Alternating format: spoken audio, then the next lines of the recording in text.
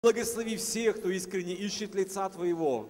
Благослови всех, позванных Тобою, и тех, кто сказал в сердце своем, «Я иду, Господи». Благослови всех нас, чтобы, начиная путь наш в Тебе, мы шли до конца, не сдаваясь, не опуская рук, желая прославить имя Твое в нашей жизни и в нашем служении. Благослови нас всех, Господь наш.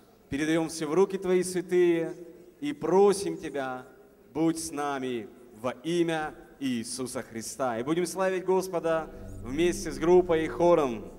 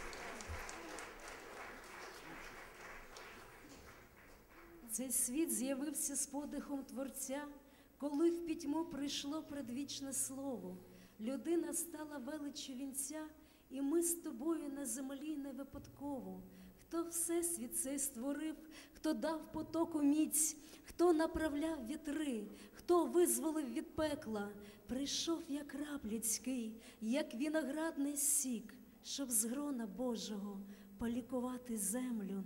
Ти прапор наш Христос, в правиці ми Твоїй, снопи Твого життя, придбання Воскресіння, Ти наш гучний набат, Ти наш щоденний хліб, Ти є єдиний шлях в потік благословіння.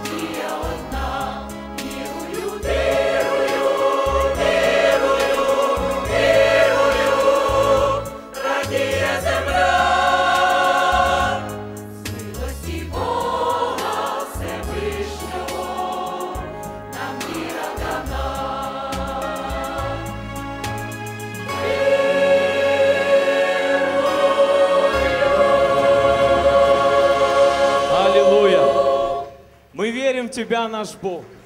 Мы верим в Тебя, Господь Иисус, наш Спаситель. Слава Тебе! Мы еще раз рады всех приветствовать участника Восточно-Европейского лидерского форума на нашей украинской благословенной земле. Божьих вам благословений! Слава нашему Богу и Спасителю Иисусу Христу.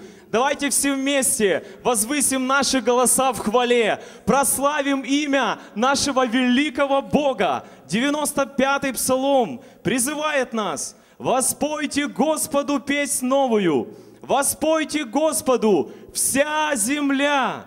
Пойте Богу, благословляйте имя Его, благовествуйте со дня на день спасение Его, возвещайте в народах славу Его, во всех племенах чудеса Его, ибо велик наш Господь и достоин всей славы и всей хвалы. Воздайте Господу, племена народов, воздайте Господу славу и честь. Аллилуйя!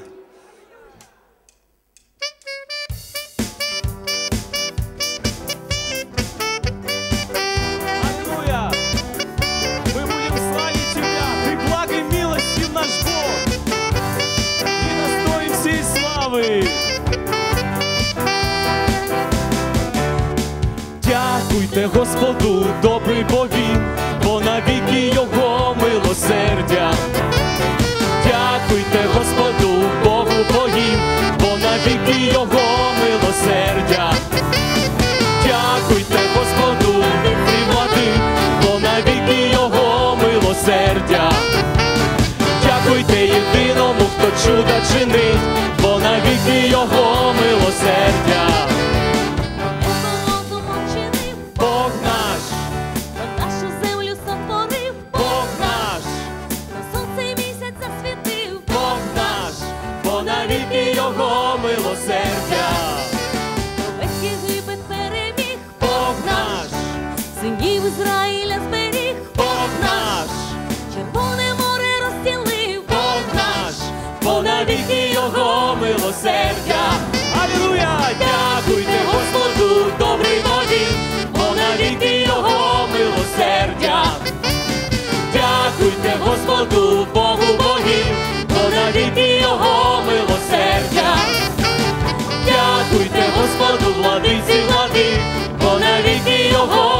Милосердя. Дякуйте єдиному, хто чуда чинить, бо навіки Його милосердя. хто свій народ пустині вів, Бог наш, хто перебив міцних царів, Бог наш, хто землю їхню нам віддав, Бог наш, бо навіки Його милосердя. хто завжди з нами повсякчас, Бог наш, від ворогів спасає нас,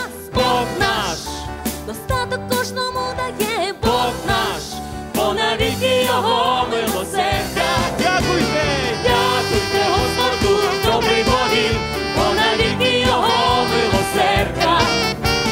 Дякуйте Господу, Богу Богів, бо навіки Його милосердя. Дякуйте Господу, владиці влади, бо навіки Його милосердя. Дякуйте єдиному, хто чуда чинить, бо навіки Його милосердя. Дякуйте Господу, добрий бо Він, бо навіки Його милосердя.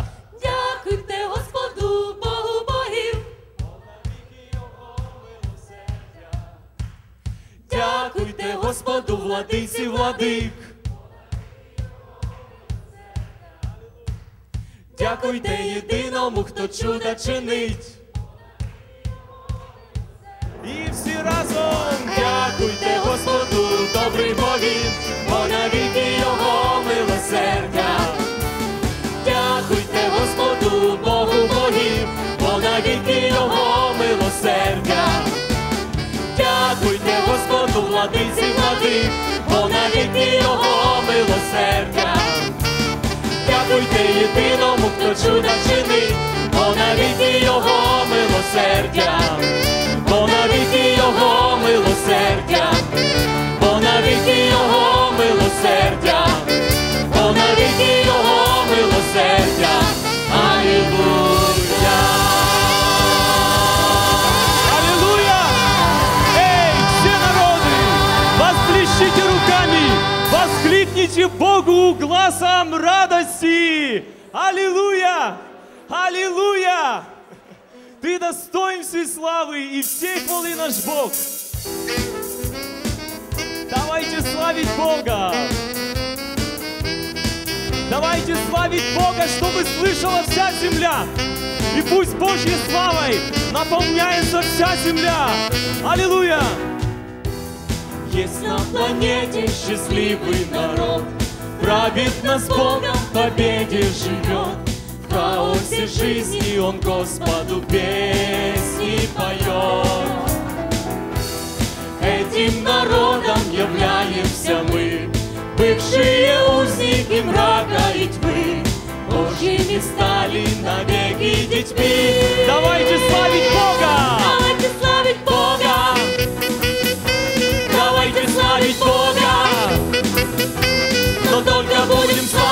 Так, чтоб слышала вся земля. Для тех, кто славит Бога, на небо есть дорога. И по дороге в небеса будем следовать ты и я.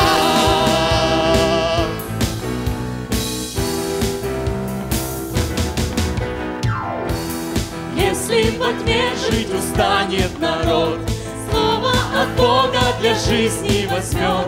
Этот народ не узнает никто через год.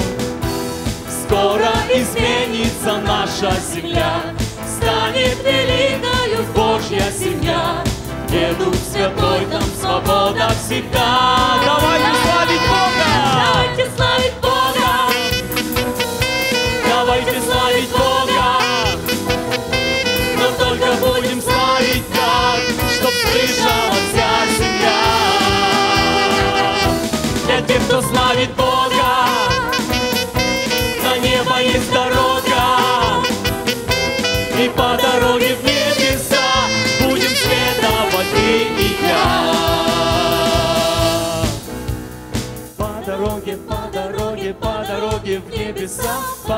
Дороге, по дороге, по дороге в небеса, по дороге, по дороге, по дороге в небеса, по дороге, по дороге, по дороге в небеса. Давайте славить Бога!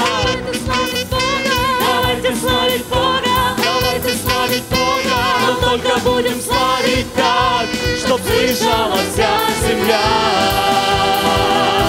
Для тех, кто славит Кто славит Бога, На небо есть дорога! на небо есть дорога, и по дороге в небеса будем следовать ты и я. Давайте славить Бога! Давайте славить Бога! Давайте славить Бога! Но только будем славить так, чтоб слышала вся земля. Для тех, кто славит Бога,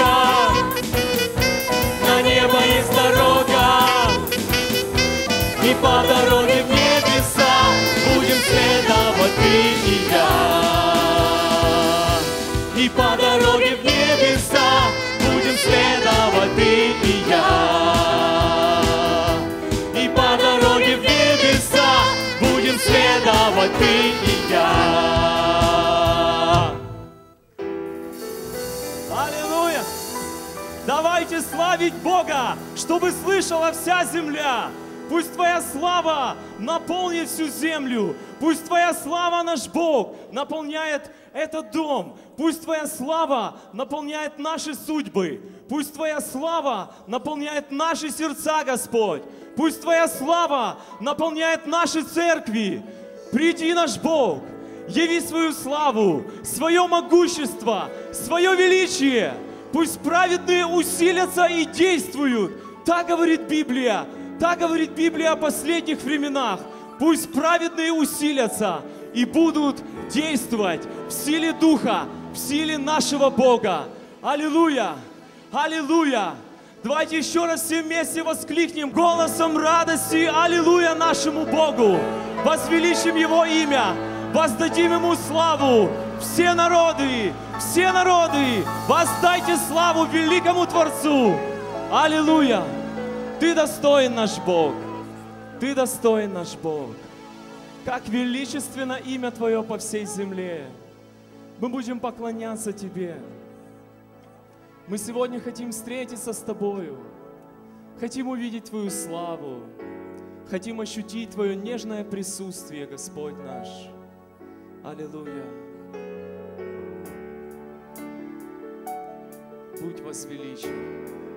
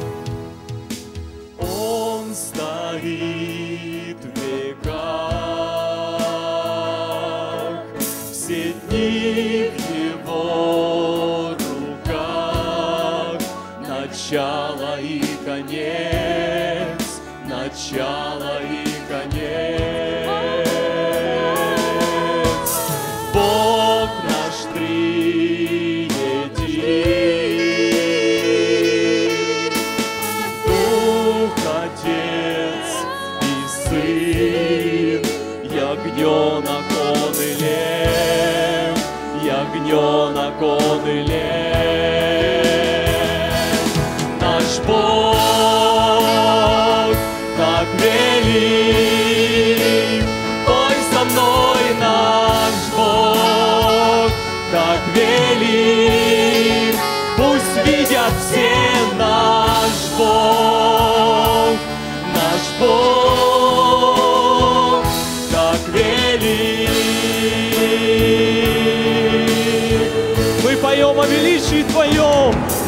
louvor.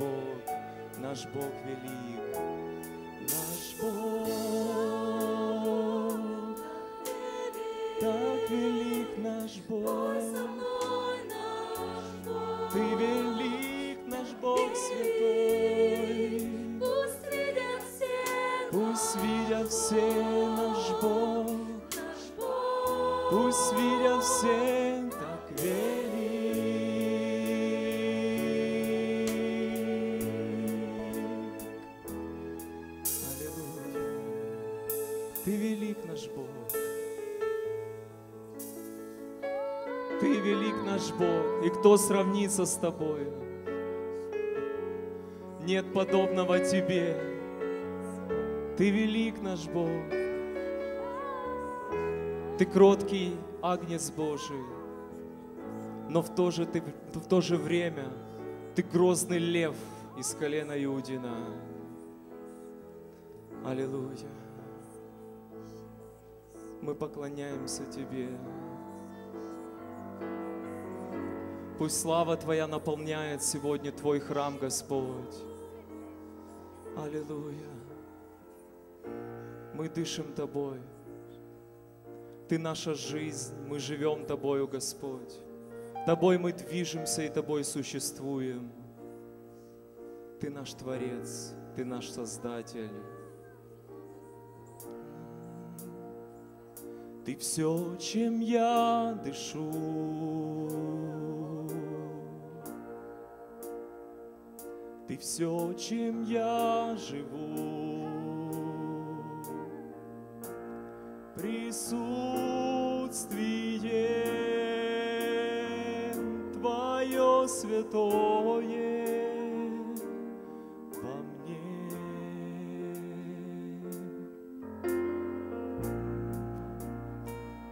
Ты все, чем я дышу. Наша жизнь, ты все, чем я живу. Присутствие Твое святое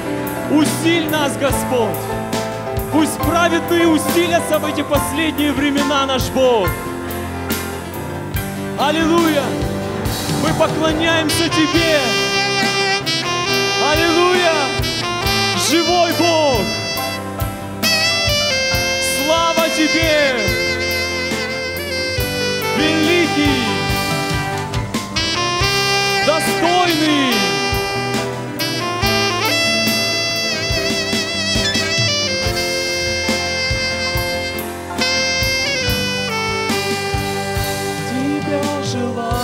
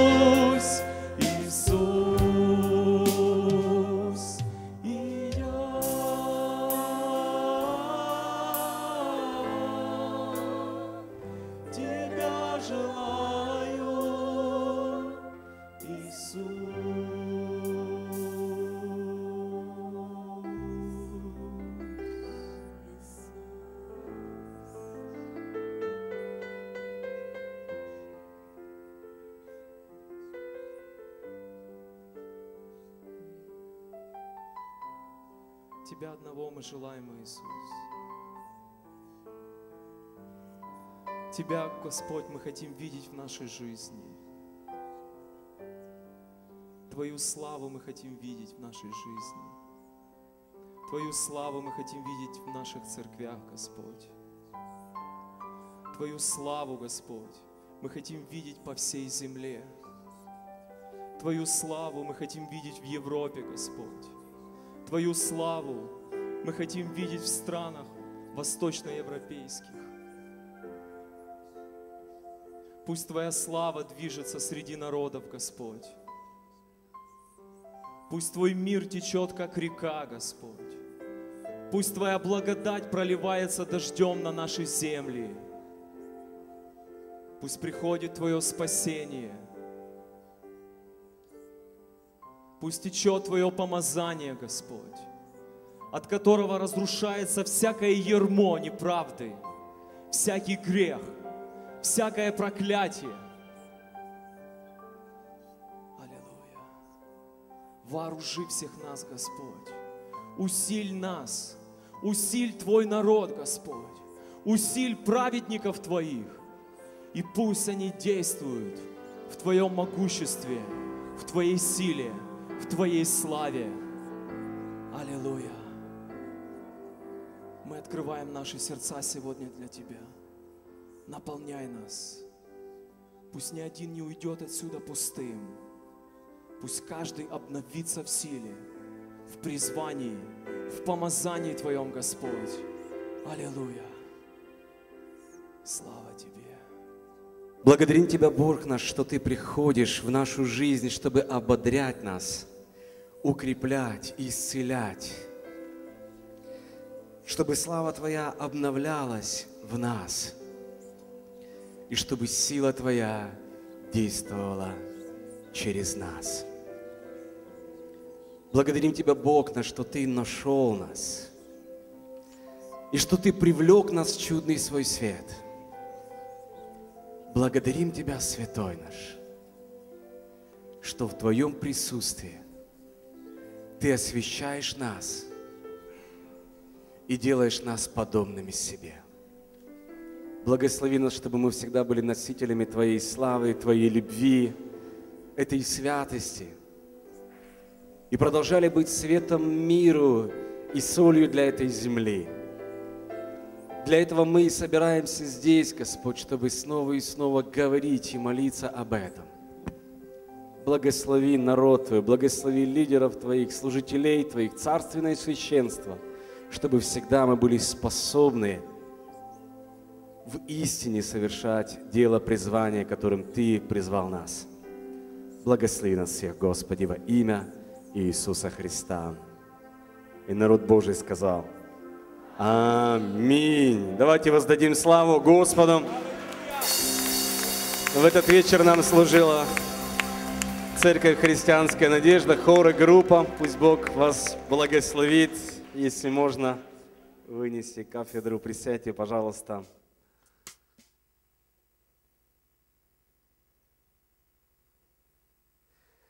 Прежде чем я представлю нашего спикера в этот вечер – хотел бы еще зачитать место Писания. Буквально вчера мы с вами говорили о том, что мы как служителя, как лидеры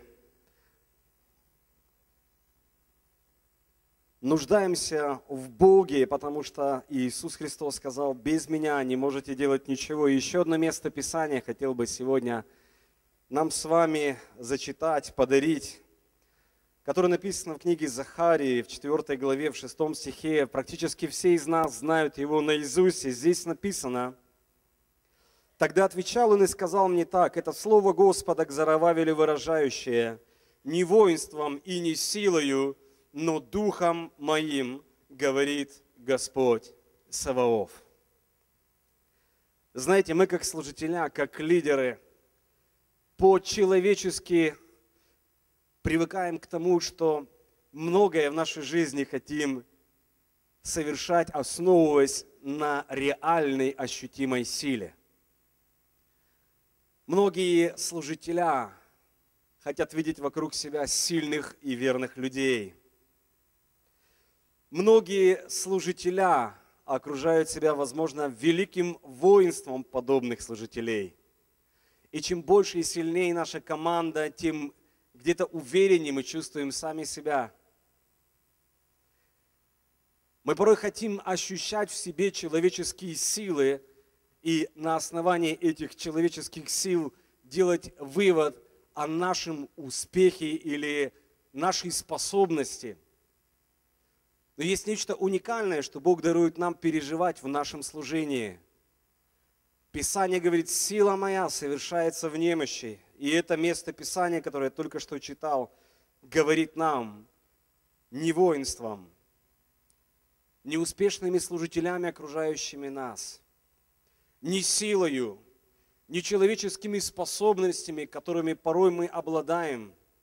Но Библия говорит, духом моим, Бог заверяет всех нас, что самые великие дела на этой земле, самые сильные служения, самые величайшие события, которые происходили посредством служения христианских лидеров, они всегда происходили нечеловеческим усилием, нечеловеческим напором, но написано Духом Божьим, и когда мы переживаем определенную нашу человеческую немощь, когда мы видим, что вокруг нас армия, на которую мы возлагали надежды, она подводит нас, когда мы понимаем, что мы остаемся один на один или с проблемой, или с ситуацией, или с тем, что нам нужно сделать, в этот момент наступает момент истины.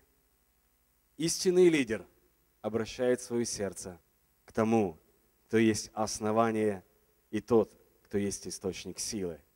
В этом сила нашего лидерского христианского призвания. Дорогие, нам нужен Бог, и нам нужна сила Его Духа. Да благословит нас Господь. Я хочу позвать на это место служителя Божьего. Наверное, правильно будет о нем сказать, не знаю, чем дышим мы. Мы дышим с вами кислородом, он дышит молитвой. Поэтому человек, в устах которого дыхание молитвы, это служитель Сергей Шерловский. Давайте поприветствуем его, он будет спикером этого вечера. Да благословит его Господь и служение искателей Бога. Недавно он вернулся с поездки с Южной Кореи. Я не знаю, будет он вспоминать сегодня в служении это или нет, но мы Благодарим Бога, что Бог благословил эту поездку и хранил в пути. Я очень благодарен за эту возможность быть здесь, находиться вместе с вами. И большое спасибо всем вам за такую уникальную возможность а, послужить Словом, поделиться своим сердцем, Божьим Словом, свидетельствами также. И, конечно же, мое самое главное ожидание, что посреди нас Дух Святой и будет служить прежде всего Он сам.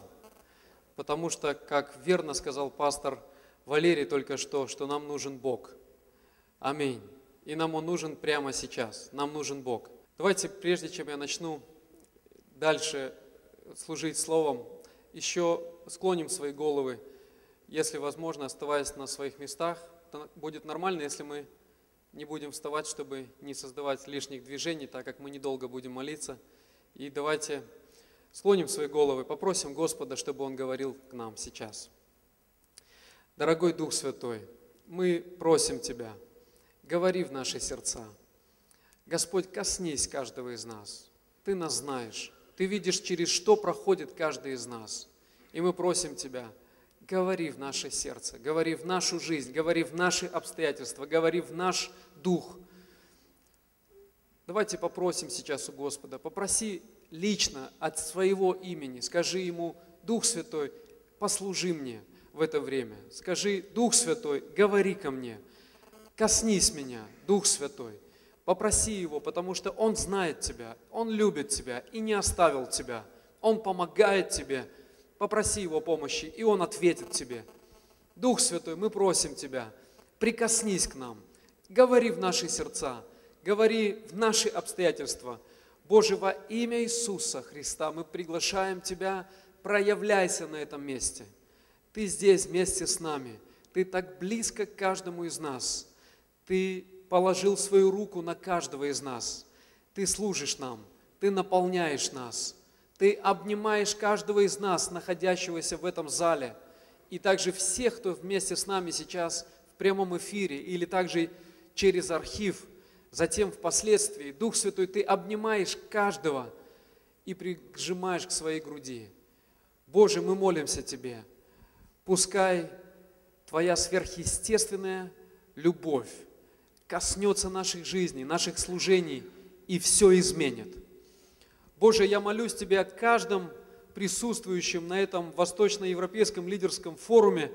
Молюсь Тебя о каждом, кто сейчас видит и слышит меня. Боже, во имя Иисуса коснись и восполни всякую нужду по богатству своему в славе Христом Иисусом. Господь, Ты знаешь, через что проходит каждый. Поддержи каждого, молюсь Тебе. Послужи каждому, Господь, молюсь Тебе. Пускай Твоя сильная рука проведет через любые трудности и испытания. Во имя Иисуса я запрещаю Тебе, дьявол, прикасаться к каждому служению, каждому здоровью, семьям. Пошел вон во имя Господа Иисуса. Но Дух Святой, пускай Твоя сверхъестественная защита будет на каждом лидере, на каждом служителе, на каждой церкви, на каждой миссии, на каждой организации Твоей. Боже, во имя Иисуса яви свою славу. Господь, прикоснись, обрати все ко благу. Пускай из всех минусов, Господь, появятся плюсы. Пускай из всех сложных обстоятельств все обратится ко благу. И так и будет, Господь, в жизни каждого из нас. И каждый из нас увидит Твою славу. И каждый из нас увидит Твои перемены, увидит Твой успех и Твой рост в Божьей работе, в служении Господу. Слава Тебе, Боже! Благодарим Тебя, Господь. И давайте, пожалуйста, откроем вместе с вами сейчас исход третью главу. И мы будем говорить о Моисее. И будем говорить о жизни Моисея. И на основании его примера также я поделюсь с вами некоторыми свидетельствами и некоторыми историями. Мы будем говорить о том, как получить видение от Бога. «Взойди на гору» – так называется эта тема. «Взойди на гору» о том, что мы будем говорить о том, что каждый лидер, каждый служитель, он зависит от Духа Святого. Как говорил пастор Валерий, не воинством и не силою, но Духом Святым. Аминь. Мы не можем жить без Духа Святого. Мы не можем трудиться без Духа Святого. Мы не можем быть сами. Мы не можем служить сами. Нам нужен Дух Святой. И давайте откроем с вами исход третью главу. И давайте, пожалуйста, прочитаем с первого стиха. Моисей пас овец у Иофора, тестя своего, священника Мадиамского. Однажды провел он стадо далеко в пустыню и пришел к горе Божьей Хариву. И явился ему ангел Господень в пламени огня из среды тернового куста. И увидел он, что терновый куст горит огнем, но куст не сгорает. И Моисей сказал, Моисей сказал, пойду и посмотрю на сие великое явление, от чего куст не сгорает. Господь увидел, что он идет смотреть, и возвал к нему Бог из среды куста и сказал, Моисей, Моисей. И он сказал, вот я. И сказал Бог, не подходи сюда, сними обувь твою с ног твоих, ибо место, на котором ты стоишь, земля святая.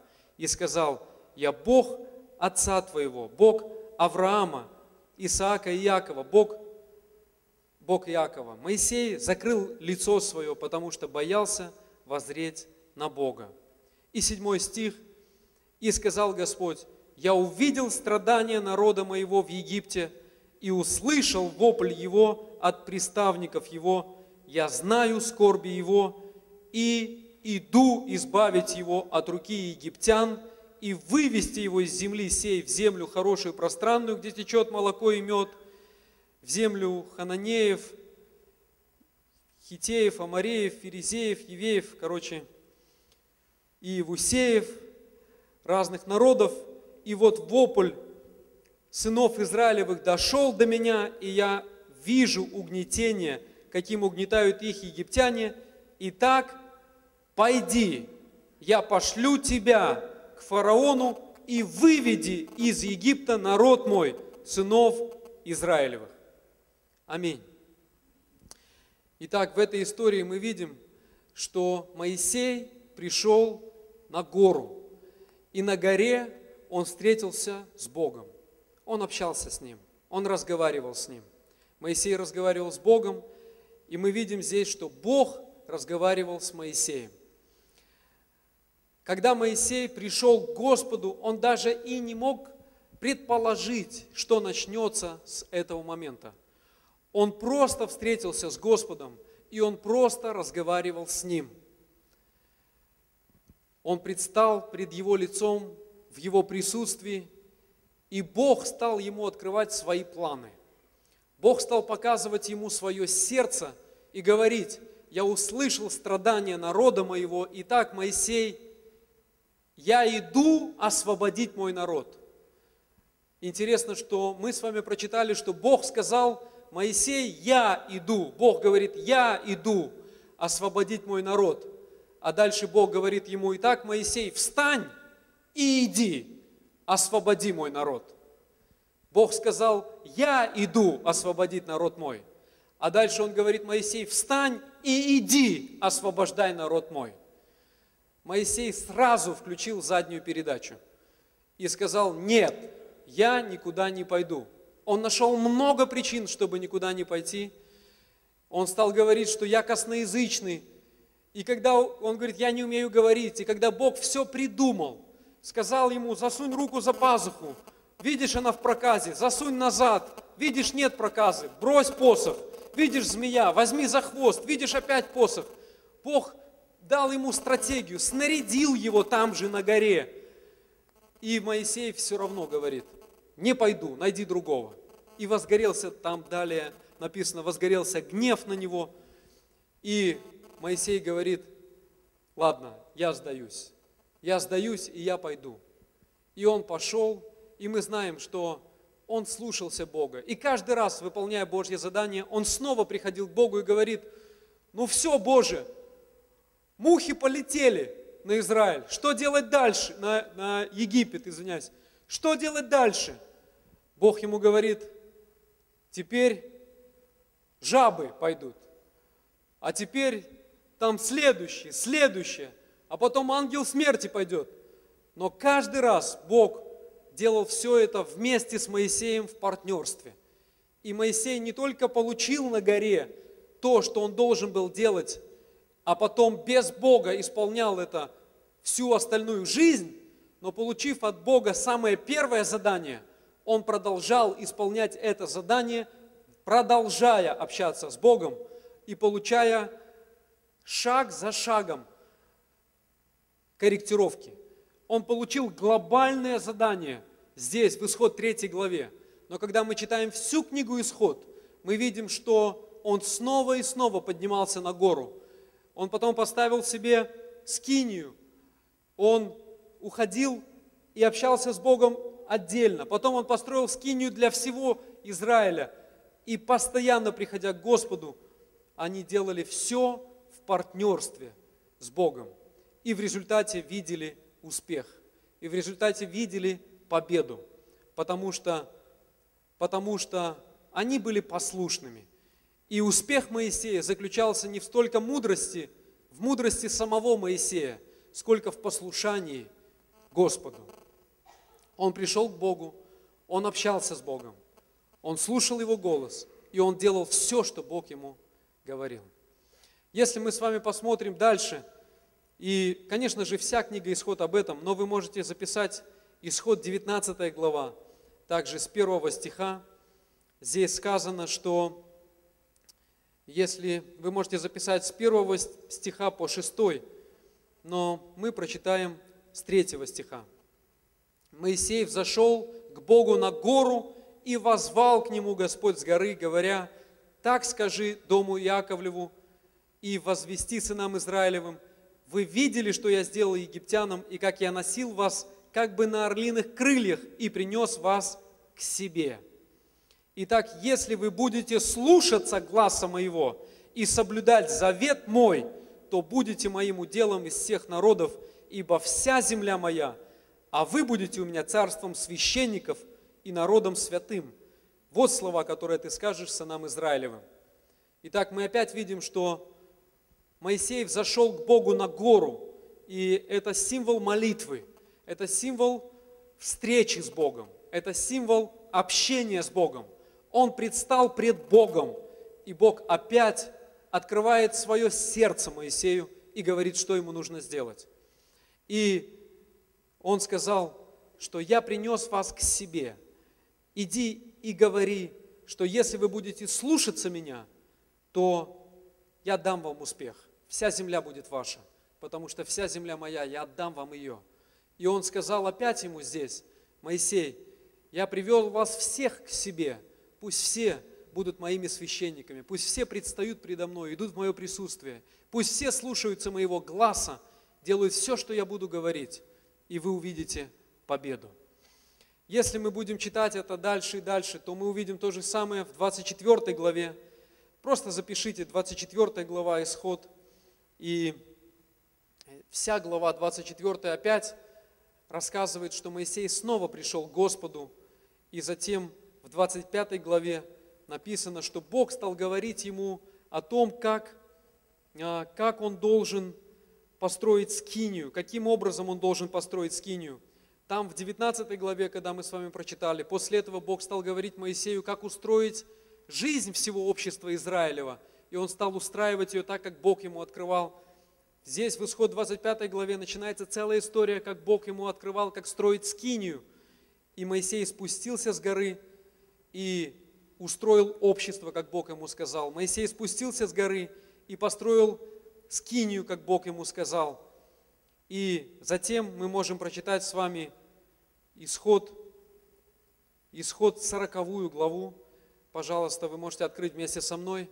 Все, кто с нами в прямом эфире, пожалуйста, открывайте вместе со мной исход 40 главу. И давайте посмотрим в исход 40 главе 16 стих. «И сделал Моисей все, как повелел ему Господь. Так и сделал». И в самом конце давайте посмотрим также 33 стих. «И поставил двор вокруг скинии и жертвенника, и повесил завесу в воротах двора, и так окончил Моисей дело». Мы видим здесь, что Моисей так окончил дело. То, что он увидел на горе, он окончил. То, что Бог показал ему, он окончил. Бог открыл ему свое сердце, и Моисей угодил Господу и исполнил то, что Бог показал ему. Он совершил. И дальше мы читаем самые последние стихи. «Облако покрыло скинию собрания, слава Господня наполнила скинию, и не мог войти Моисей в скинию собрания, потому что осеняло ее облако, и слава Господня наполняла скинию». Итак, мы с вами видим, что когда они все закончили и сделали, как Бог им сказал, облако сошло. Все сработало. Моисей послушался. И дальше мы читаем, что с 36 стиха, когда поднималось облако от Скинии, тогда отправлялись в путь сыны Израилевы во все путешествие свое. И если же не поднималось облако, то и они не отправлялись в путь, доколе оно не поднималось ибо, ибо облако Господне стояло над скинию днем, и огонь был ночью в глаза пред ней или в ней, пред глазами всего дома Израилева во все путешествие их. Вся эта история Моисея говорит о том, что он приходил к Богу и постоянно уединялся с Ним. Моисей постоянно общался с Богом. Он постоянно, это называется молитва почему-то, это назвали молитва – но в реальности это были встречи с Богом. Это были уединения с Богом. Моисей снова и снова представал пред Господом, и получая от Господа руководство, он возвращался к людям и делал все, что видел на горе, и что Господь говорил к нему. И Моисей – образец для нас, и пример для нас. И смысл жизни, когда мы читаем Моисея, смысл его жизни заключался в трех вещах в общении с Богом, можно сказать, в молитве, но это больше, чем молитва, потому что это общение с Богом. Он говорил с Богом, а Бог говорил с ним. Так и мы с вами, когда мы молимся, мы также читаем Библию, и Бог разговаривает с нами, или также через Дух Святой, когда Он дает нам рема и говорит в наши обстоятельства непосредственно. Мы с вами предстаем пред Господом, подобно Моисею – и там Моисей не только говорил с Богом, но слушал его голос. и затем делал все, как Бог ему сказал, даже когда не хотел повиноваться Богу. И даже когда задание было слишком большим и огромным, так что у Моисея захватывало дух, и ему хотелось спокойной жизни. Какому человеку порой не хочется спокойной, комфортной жизни? И Моисею хотелось этой жизни.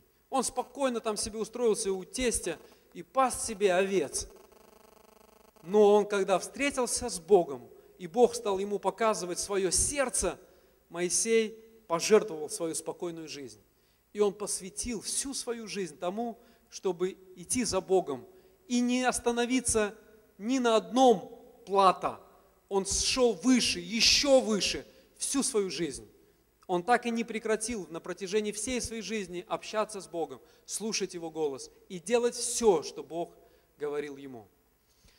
Как уже сегодня прозвучало, я приехал с Южной Кореи. И я был на конференции пастора Йонги Чо, у нас был тур, мы делали тур в Южную Корею. И а, центральной частью этого тура было посещение конференции, которую проводил лично пастор Йонги Чо и также его команда. Больше всех проповедовал пастор Йонги Чо. Я уже третий раз был на этой конференции, и было интересно услышать снова и снова свидетельство этого пастора самой большой в мире церкви. Он рассказывал о том, что вся его жизнь и все его служение фактически это общение с Духом Святым.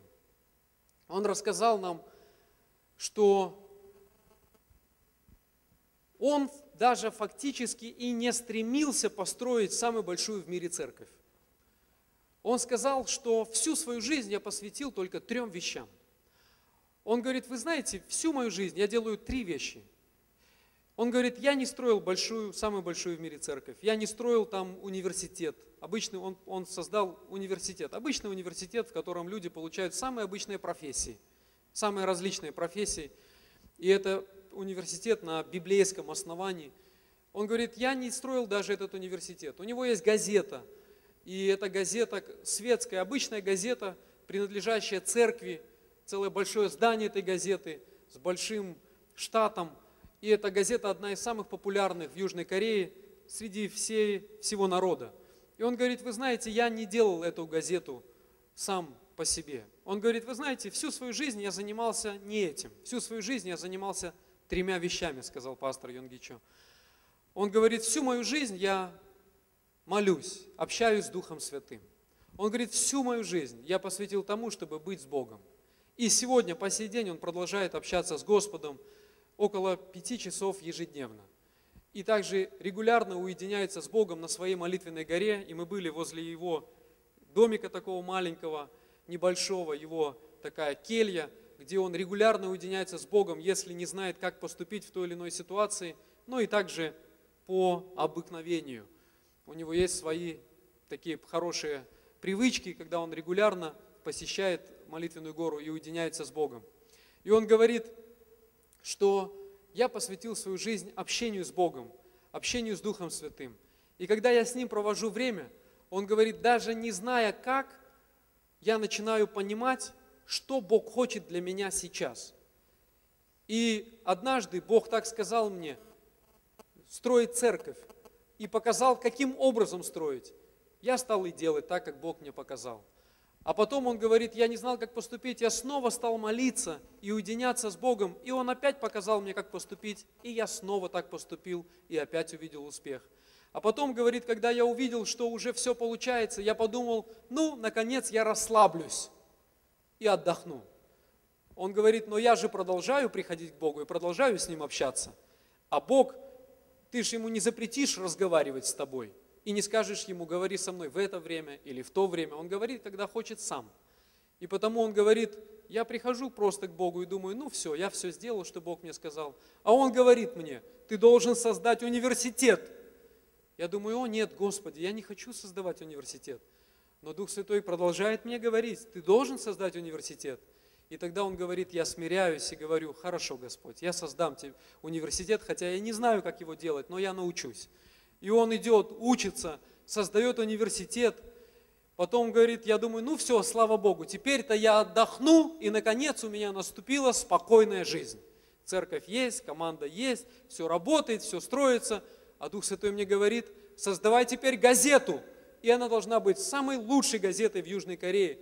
Сделай газету. Я думаю, Господи, я не умею делать газету. Я не знаю, сколько надо денег на нее.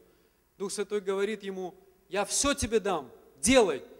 И он говорит, и я не хочу. Он сопротивляется в своем сердце, но Дух Святой продолжает ему говорить, и он говорит, я сдаюсь, и говорю, хорошо, Дух Святой, я сделаю тебе газету. Он идет и делает газету, и люди ему говорят, у тебя не получится. Говорят ему огромные суммы денег, которых у него нет, и все начинает приходить, финансы приходят, люди приходят, специалисты приходят, есть газета, получилось. Он говорит, я думаю, слава Богу, теперь-то я отдохну.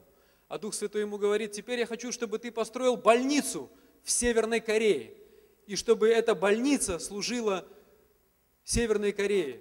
А есть конфликт между Южной и Северной Кореей. И он говорит, Боже, они мне не нравятся, я не хочу им делать больницу.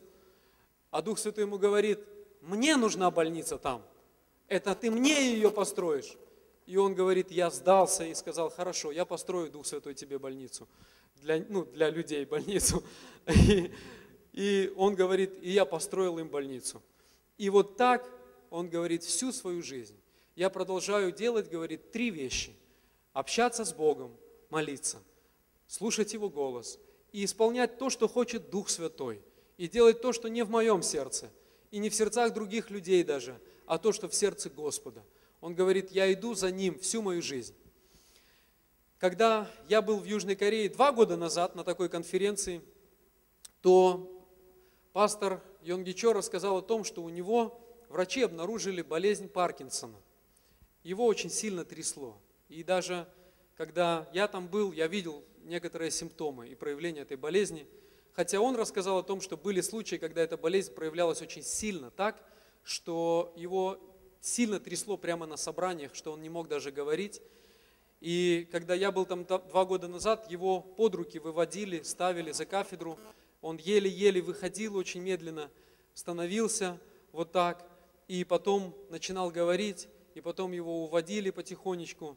Он сказал, что он терял сознание прямо в машине, когда его везли на собрание, и врачи сказали, что ему недолго осталось жить. Он передал церковь другому пастору, своему преемнику, пастору Ли, и говорит, я понял, что уже мне осталось жить недолго. И когда я был там два года назад, то я видел пастора Йонгича в таком состоянии, так что мы очень торопились приехать к нему туда в этот раз, чтобы увидеть его, возможно, последний раз. И когда я приехал туда, я был просто шокирован тому, что я увидел совершенно другого человека. И он рассказал просто невероятную историю. Он говорит, вы знаете, я уже начал даже завещание писать своим детям. Он говорит, я уже начал думать о своей смерти и о том, что вся жизнь закончилась. Он говорит, я ушел на пенсию и стал думать, что когда я ушел на пенсию, то говорит, ну, все, типа, я ушел, на, я на пенсии. И он говорит, я почувствовал себя таким стариком, больным, таким вот, короче, и что, ну, в принципе, я все сделал, веру сохранил, течение совершил, говорит, осталось венец получить, говорит, и все. И потом говорит, я же продолжаю молиться и продолжаю с Богом встречаться. Я же продолжаю к Нему приходить. Он говорит, я пришел к Господу, я начал с Богом разговаривать, как всегда, и он каждый день все равно, неважно от физического здоровья, продолжал к Богу приходить и молиться. И говорит, однажды я пришел к Духу Святому, а Дух Святой мне говорит, что? Ты всех учил тому, что нужно развивать четвертое измерение, иметь позитивное видение будущего, видеть себя исцеленным, здоровым, освобожденным, успешным. Ты всех учил тому, что надо от Бога получать видение, большую цель, и что цели должны быть большими, потому что Бог большой, и у Него есть много благодати – и Дух Святой ему стал говорить, почему ты сам не практикуешь то, чему ты всех учил всю свою жизнь? И он говорит, мне стало так стыдно. И я покаялся. Он говорит, я сказал, Боже, прости мне мой грех, он сказал, что я перестал практиковать, ушел на пенсию и перестал практиковать то, чему ты меня учил. И он говорит, и я начал думать по-другому. Я начал говорить, ранами Иисуса я исцелен, я буду жить долго. Ранами Иисуса я исцелен. Бог дал мне свое служение, и я буду делать еще много дел для Господа. Он изменил свои мысли, изменил свое исповедание. И, короче, когда я туда сейчас приехал, когда мы с группой туда приехали, я увидел совсем не того пастора, которого я видел два года назад. Стоял полностью здоровый человек, все симптомы болезни Паркинсона исчезли абсолютно. Стоит твердый, энергичный человек, который говорит, я чувствую себя сорокалетним. Он говорит, я повесил фотографию себя молодого и постоянно на нее смотрю и говорю, я молодой. Он говорит, Господь моя сила. Он говорит, ранами Иисуса я исцелен. Все симптомы болезни исчезли. Он говорит, у меня есть новая мечта от Бога и новое видение. Самое большое из всех, какие я принимал от Бога когда-либо за всю мою жизнь. Он говорит, я буду жить больше, чем 90 лет, и я сделаю так много для Иисуса, как еще не делал никогда. Он говорит, и знаете, он говорит, это работа Духа Святого в моей жизни, потому что он говорит, я уже сдался, но я пришел к Нему, и Он говорил в мою жизнь, и Он изменил мою жизнь. Знаете, мне было так приятно видеть Божью работу в жизни Божьего помазанника, Божьего человека. Мне было так приятно видеть человека настолько радостного, вдохновленного. Он нас так сильно вдохновил своими проповедями. Мы постараемся все это перевести на русский язык и выложить, показать на телеканале Бог ТВ, в интернете, в архиве. Но это было просто потрясающе. Его жизнь еще раз мне показала, что Бог может сделать человеком, который общается с Духом Святым, который служит Богу в партнерстве с Духом Святым. Он очень много раз повторил за время этой конференции, Дух Святой мой главный партнер. И много раз он повторил, что молитва – ключ к пробуждению. И вся его жизнь показала, что ну, он, так он и проповедовал. Он говорит, что я посвятил свою жизнь трем вещам. Трем вещам. Общаться с Богом, слушать Его голос и исполнять все, что Бог мне говорит, во что бы то ни стало. И сегодня, в этот день, к этому же самому я хочу и призвать каждого из нас, чтобы каждый из нас посвятил свою жизнь трем вещам.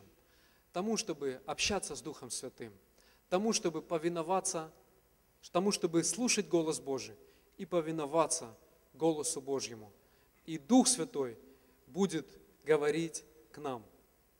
Чуть-чуть буквально я хочу в течение буквально нескольких минут поделиться небольшим свидетельством из своей жизни и не таким большим опытом и не такими большими плодами, о которых только что я засвидетельствовал из жизни пастора Йонгичо, но тем не менее в моей жизни – я также испытал и пережил некоторые а, Божьи чудеса.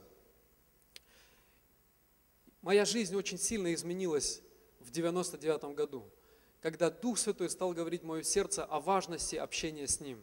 Что если начать общаться с Духом Святым и сделать общение с Духом Святым самым важным в своем служении Господу, то тогда вместе с Ним можно сделать гораздо больше – Тогда всю мою жизнь я посвятил общению с Духом Святым. Когда Он проговорил ко мне, я начал постоянно приходить к Нему и уединяться с Ним. И общение с Ним стало самым важным в моей жизни. Я не сделал ничего необычного. Как и все, я учился в библейских школах, как и все, я служил и был активным. Одна только вещь в моей жизни произошла по-другому, необычно, как это не было в моей жизни до того – я стал постоянно проводить время с Богом в молитве и чтении Божьего Слова. Я даже не мог предположить, как сильно перевернется вся моя жизнь через это. Когда я стал приходить к Духу Святому и разговаривать с Ним, Он стал говорить мое сердце о том, чтобы я изменил свое отношение к Нему и корректировал мои, мою мотивацию говоря в мое сердце о том, чтобы любить Бога бескорыстно и прежде всего приходить к Нему из-за Его любви к нам и из-за нашей любви к Нему, а не из-за того, что Он может в наше служение принести успех или перемены в нашей семье, а что прежде всего Бог ожидает, чтобы мы имели отношения с Ним как дети с Отцом, самодостаточные отношения, что даже если не расцветет смоковница, виноградная лоза не даст плода, мы все равно будем радоваться о Боге, приходить к Нему и общаться с Ним, потому что прежде всего это не, это, это не отношение, которое строится на корысти, как бы на нашей пользе, на нашей выгоде, а прежде всего это любовь и просто взаимоотношения, самодостаточные взаимоотношения с Небесным Отцом – Дух Святой сильно говорил в мое сердце об этом.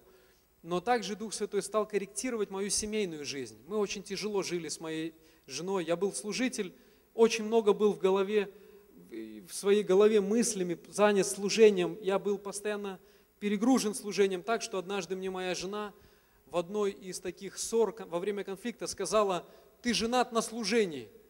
Говорит, служение твоя жена, а не я. Я тебе вообще не нужна у нас была тяжелая семейная жизнь. Конечно же, я думал, что это моя жена во всем не права. Я думал, что она не очень духовная, наверное, и не понимает меня. Я молился за нее, чтобы Бог ее изменил. Но когда я пришел к Духу Святому и стал общаться с Ним и говорить с Ним, в одном из уединений с Богом, Дух Святой сильно меня обличил. Как Он обличил меня в моей неправильной мотивации сердца по отношению к Богу, что я прихожу к Нему прежде всего, чтобы иметь успех, иметь плоды, иметь результат, иметь пробуждение в своей жизни, что Бог говорил мне о том, что прежде всего, да не будет у тебя других богов пред лицом моим, что Бог – самая большая ценность во Вселенной, нет ценнее Его, и Он достоин того, чтобы приходить к Нему ради Него, Него Богу ради Бога, а не к Богу ради Божьего. И также Бог сильно обличил меня как мужа, и стал говорить, особенно в мою жизнь, через книгу «Песни песней» Соломона – где я увидел, что Соломон делал три вещи, Бог показал мне. Он проводил со своей возлюбленной время, и когда он с ней общался, он не разговаривал с ней о закупке бревен, камней, он просто говорил с ней о ней, говорил о любви. Хотя мы читаем в царствах и в Паралипоменон, как много он закупал разных там стройматериалов и все строил, но с ней он об этом не говорил, он говорил о ней – хваля ее. Также я увидел, что он не критиковал ее. И второе, что я увидел, он говорил комплименты. И я увидел, что нужно в семейной жизни избегать критики, а говорить много хороших слов. Так что сама Суламита о себе сказала, что она черна и сгорела на солнце. И я читал и искал, сказал ли ей об этом Соломон. И я не нашел этого в Библии. Соломон не сказал ей, что она сгорела, хотя видел. И он только хвалил ее и говорил, что она самая красивая. И также он дарил ей подарки и оказывал ей знаки внимания подарками, и об этом также там написано. И когда Дух Святой стал говорить об этом мое сердце, я вышел и стал делать то, что Бог сказал мне, и наша семейная жизнь преобразилась полностью. И также, и также я стал проводить время со своей женой, время такое, когда ей безраздельное внимание. И даже я увидел, что при всей занятости служения, если ты планируешь время с женой, и в это время ты посвящаешь всецело 100% внимания ей, то это настолько эффективно, что наши эмоциональные нужды восполняются. И Бог благословил нашу семью. И также Дух Святой, когда я продолжал приходить к Нему и просто поклоняться, просто славить Его, просто молиться, Дух Святой стал говорить в мою жизнь очень много идей и разных мыслей – я стал видеть некоторые картинки, некоторые образы впереди, я стал видеть в будущем, я стал видеть некоторые вещи, стали приходить разные идеи, и они всегда были такими, что захватывали мой дух и были больше, чем я мог себе представить или позволить. И Дух Святой говорил в мое сердце о многих вещах, таких, которые были больше моего понимания. И некоторые из этих вещей, они были для меня новыми. Я никогда этого не делал – я привык делать одно и то же, то, что я уже умею, а стали приходить идеи и мысли делать то, чего я не делал еще вообще никогда в своей жизни. И мне было страшно. Часто в этот момент я чувствовал, что мне страшно. Я записывал эти мысли, и я обнаружил, что когда ты заканчиваешь молиться и говоришь «Аминь», то потом ты смотришь записи тех идей, тех мыслей, что ты там записал, И когда вот эта атмосфера Божьего присутствия как бы в некоторой степени уходит, когда вот это в молитве ты исполнен верой, когда ты все это видишь, идея пришла, тебе кажется, да, конечно, да, конечно.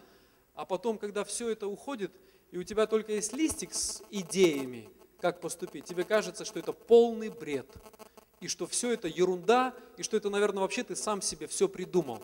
Потому что когда ты поднимаешься на гору, ты с горы видишь большую картину. Ты видишь, как оно все, ну ты видишь картину. Ты можешь составить карту, как тебе что делать в твоем служении, в твоей жизни. Потом ты спускаешься в низину с этой картой, ты смотришь на нее, но ты уже не видишь так, как ты видишь с горы. Ты видишь по-другому, и получается, что тебе нужно верить, что эта карта правильная, и ты идешь верою. И в конце концов ты будешь знать, что ты точно пришел туда, только когда будет хороший, положительный результат. В моей жизни был один переломный момент. Это был непростой момент. Но однажды я принял решение, а не попробовать ли воплотить в жизнь хотя бы некоторые из идей, которые приходят в молитве. А что, если их воплотить в жизнь? Они странные, они новые, они большие или просто неординарные, они какие-то... Я так никогда не делал. А что, если попробовать так сделать? И в результате это изменило мою семью и изменило мое служение. Когда я подумал, Господи, а что если попробовать это сделать? Я подум... и мне было страшно, я думал, а вдруг не сработает, а вдруг не получится. Но тогда я подумал, а что если попробовать? И в результате каждый раз, когда я пробовал это сделать, я видел успех. И опять победа, и опять рост, и опять благословение. И таким образом появляется доверие. И в следующий раз ты уже быстрее различаешь и быстрее слушаешься. И тогда в следующий раз еще, и еще, и еще. И таким образом жизнь становится интересной. Приходит определенный адреналин, драйв. Ты не знаешь, что будет после следующего уединения с Богом. Ты не знаешь, чем ты займешься дальше. И когда ты начинаешь это делать, жизнь изменяется. Единственное, приходится положить на алтарь свой личный комфорт. Приходится положить на алтарь вот ту мечту, такую душевную, и я бы даже сказал плотскую мечту о тихой и спокойной жизни, чтобы тебя никто не трогал, чтобы было все хорошо, чтобы тебя никто не критиковал, чтобы не было никаких проблем. Но когда ты отказываешься от этого и посвящаешь себя воплощению того, что Бог тебе говорит, ты видишь чудеса ты видишь рост, ты видишь, как получается. Таким образом, Дух Святой однажды проговорил мне путешествовать, и я начал путешествовать, и моя жизнь изменилась. Таким образом, Дух Святой однажды проговорил начать проводить такие конференции богоискания, о близости с Иисусом. И я провел много таких конференций. А потом Дух Святой говорит, а теперь ты должен сделать большую конференцию богоискания. Сними дворец спорта и сделай большую конференцию в прямом эфире на спутниковом телевидении – и таким образом, после больших работ, большого труда, все получилось, и эта конференция состоялась. Затем, таким образом, когда однажды я просто поклонялся, и Дух Святой говорил, и я говорил Духу Святому просто, что я Его люблю, Он вдруг стал в мое сердце говорить о том, чтобы поднимать молитву за пробуждение в нашей земле. И чтобы поднимать ее таким образом, чтобы в партнерстве со всеми служениями и служителями, таким образом, чтобы уходить, ну, как бы, чтобы ну, не, не брать славу за это, а отдавать все Господу. И Дух Святой показал мне, в общем, через ряд мест Писаний, что, как это делать. И таким образом, и таким образом, хотя мне не хотелось этого делать, но тем не менее, однажды в молитве, после того, когда Бог продолжал говорить, я сказал ему «да». И в результате состоялась всеобщая молитва за пробуждение, которую мы провели уже два раза – и она также продолжает проходить два раза в год на Дальнем Востоке, в Средней Азии и в Прибалтике, когда собираются епископа со всего края, со всех этих регионов и вместе молятся о пробуждении. Так что и в сентябре я приехал с такой молитвой, где вся Средняя Азия собралась и молились вместе о пробуждении. У Духа Святого есть план для пробуждения. Я буду завершать, но в заключение я хочу сказать, Господь мечтает о том, чтобы вся наша земля познала Господа, чтобы каждый человек в нашей земле влюбился в Него и знал Его близко и лично. Бог мечтает о том, чтобы пришло сильное пробуждение, движение Духа Святого в нашу землю, и чтобы волна Духа Святого так сильно накрыла нашу всю территорию, все страны бывшего Советского Союза, всю восточную, всю восточную Европу, чтобы Дух Святой так накрыл, и вообще все русскоязычное пространство во всем мире, чтобы Дух Святой так накрыл, чтобы контроль над ситуацией потеряло не только общество, но даже мы, верующие, чтобы так Дух Святой двинулся, чтобы волна Его и чудеса Его пришли, и чтобы Бог так прославился. И, конечно же, Дух Святой мечтает изменить все наше общество и сделать его библейским, сделать его на основании библейских ценностей и принципов.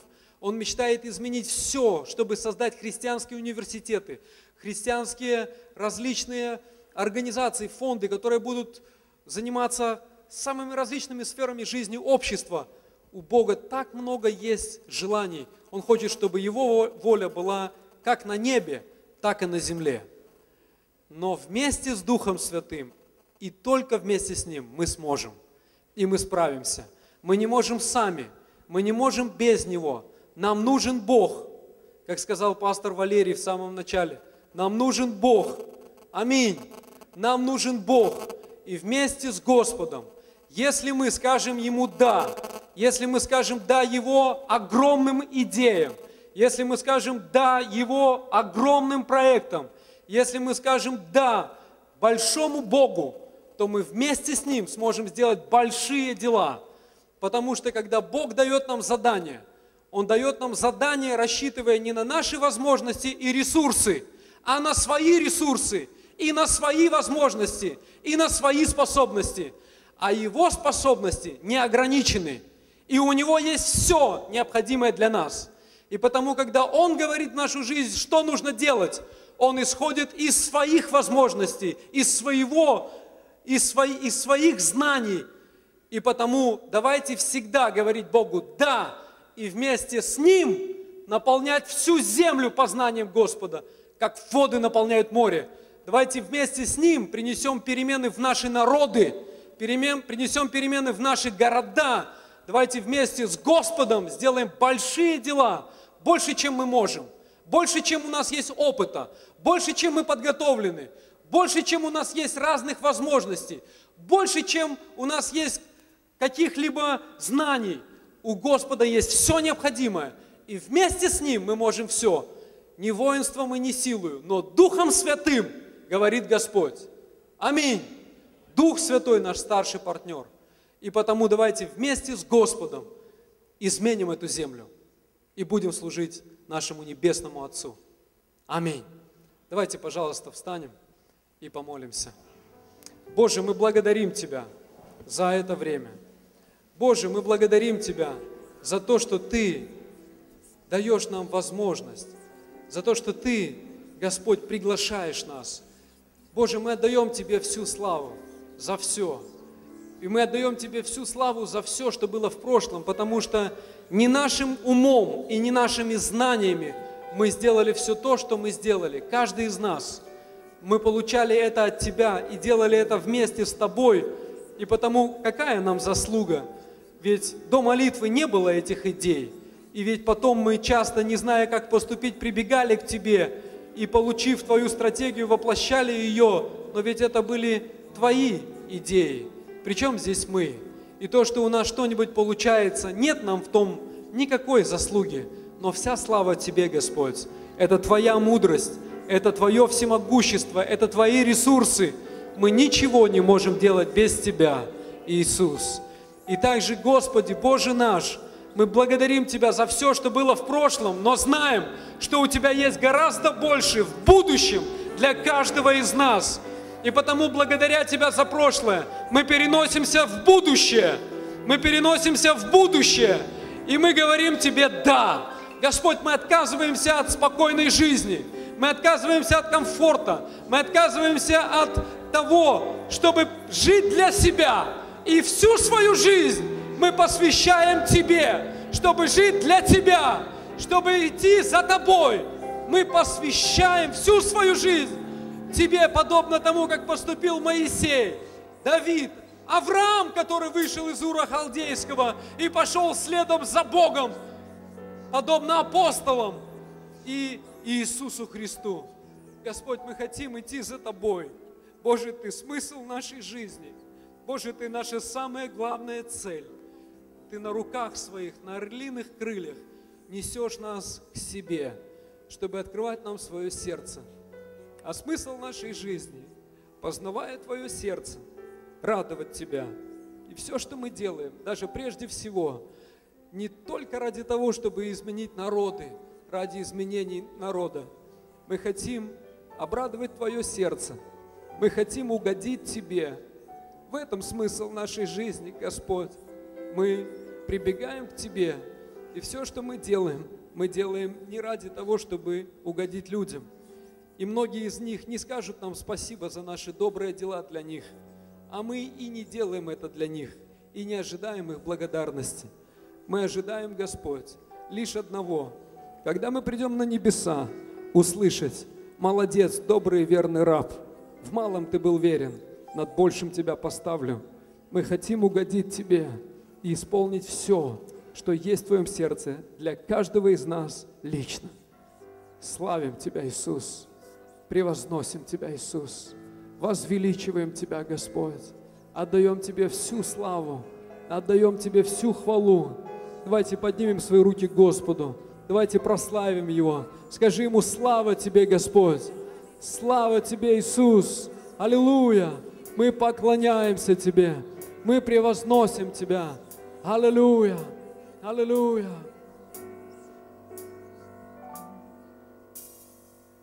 За все Тебя, Господь, я благодарю. Ты искупил от смерти душу мою. И буду возвещать я по всей земле о том, как милостив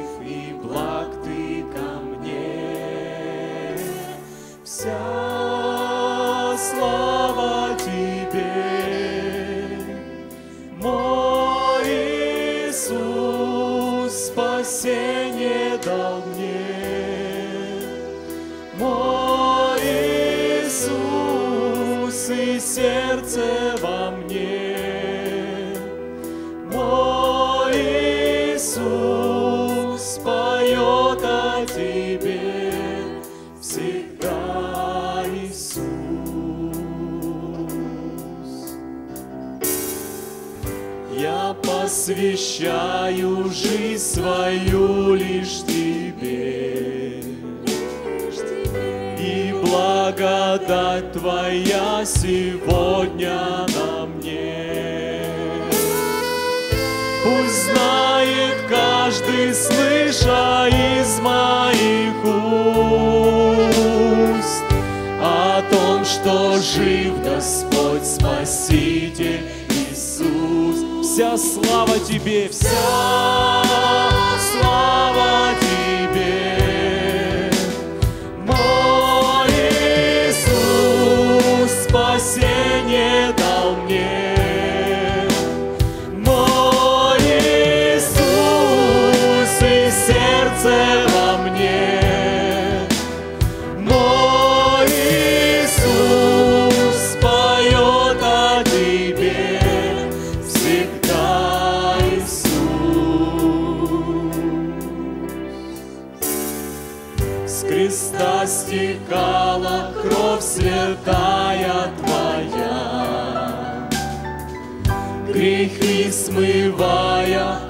Очищала меня.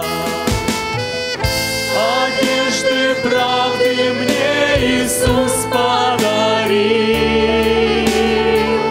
Простил, очистил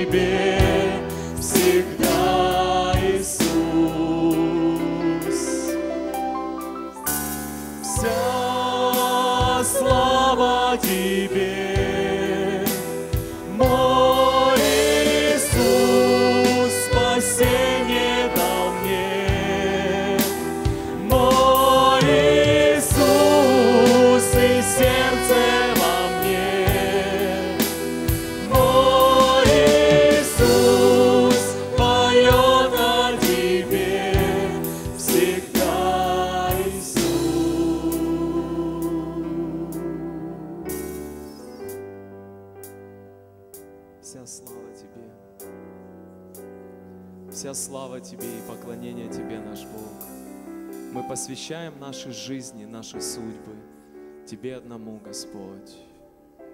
Аллилуйя. Аллилуйя. Господь и здесь. Самое главное, что Божий лидер может делать в жизни, в своем служении, это искать Его лица, искать Господа, искать Его каждый день, входить на гору, с которой все видно, которой все хорошо видно. Когда ты взошел на горе, ты увидишь свою жизнь, ты увидишь свое будущее. Поэтому молитва – это основание нашего служения, это основание нашего лидерства. Итак, братья и сестры, мы сейчас заканчиваем. Мы заканчиваем предпоследний день нашего Восточноевропейского лидерского форума. У нас осталась только половина дня. Завтра, после обеда, мы разъедемся в наши города.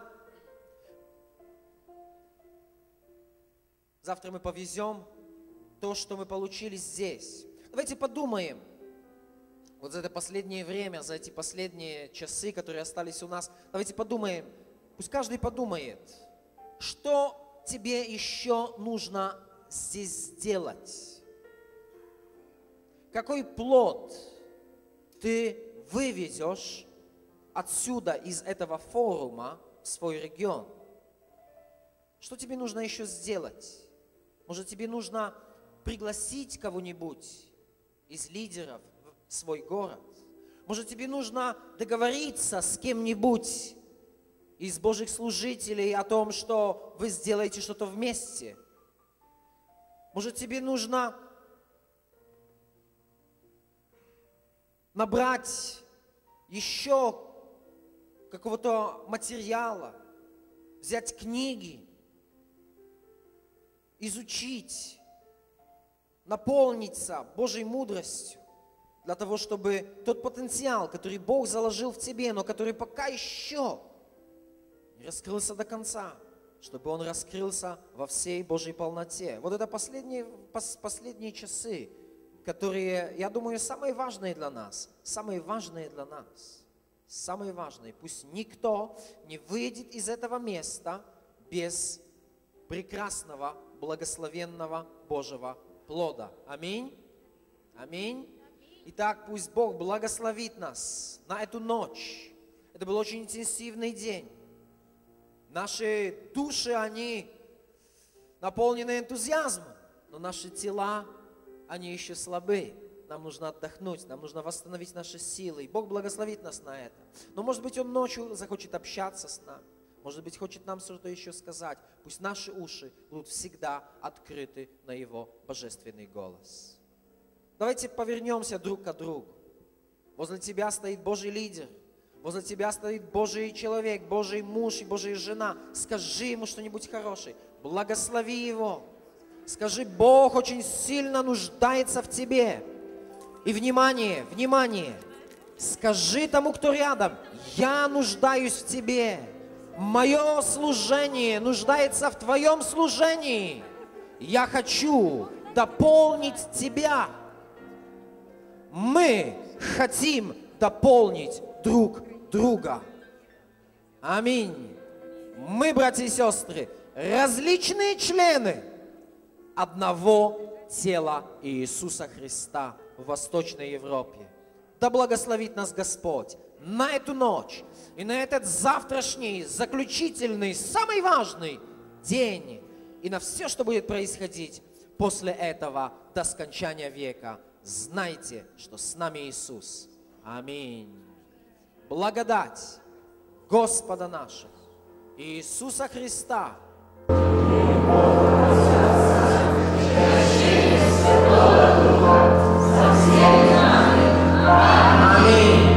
Hallelujah.